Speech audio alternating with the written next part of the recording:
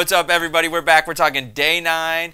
Woo! We're talking one of my favorite new items, SoChatti chocolate. Fantastic new item. We've been crushing it with, guys. It's a three ingredient dark chocolate item that's extremely versatile.